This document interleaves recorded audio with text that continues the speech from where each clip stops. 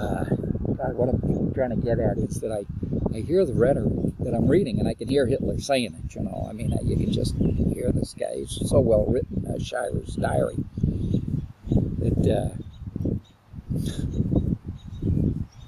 I could hear Obama saying the same things about this country today.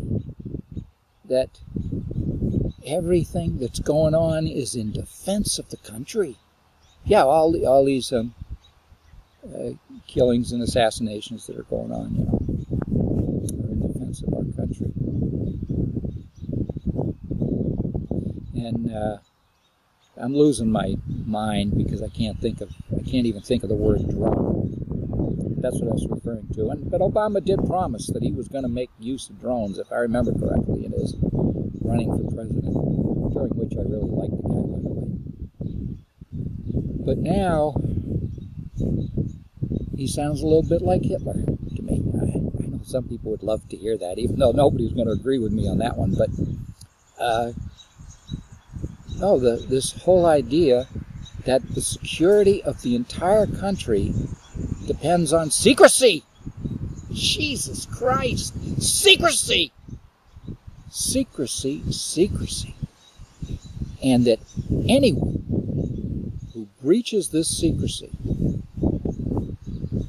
even though it's the truth. Truth has nothing to do with it.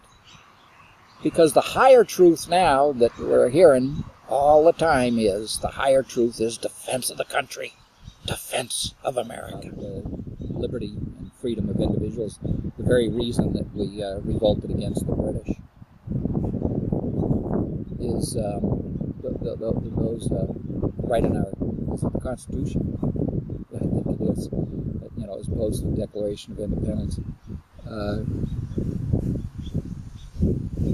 that might be confusing the two. You know. So there, you know, comes a time in the life of the country when you uh, you have to revolt.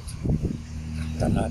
I'm not saying we should revolt. Anybody should revolt about anything because I don't know what we re- replace uh, the present uh, corrupt political system. I think it is. I, yeah, I, I just, I don't know any politicians. I, I'd say McCain is honest, misguided but honest, you know.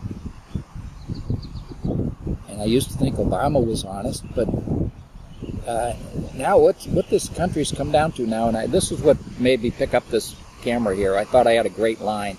We are a, now a one-party system. Yeah, it's the uh, the redactic party. Now, maybe I heard that on some cartoon or something. I don't know. But anyway, this is finished. Is long enough.